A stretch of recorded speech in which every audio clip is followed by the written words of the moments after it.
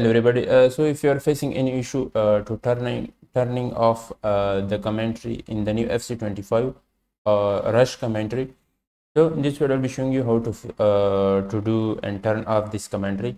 Uh, if you want if once you start the game you will be not able to turn off the commentary. But before launching the game what you need to do is select the setting here from the top right corner. Once you select the setting next go to the setting again and uh, here open the game setting. Select the audio from the top uh, menu and uh, scroll all the way to the bottom and uh, select uh, come to the rush uh, rush audio section.